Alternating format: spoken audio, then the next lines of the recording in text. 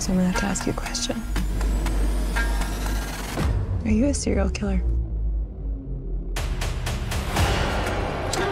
You've got no idea where this one ends up.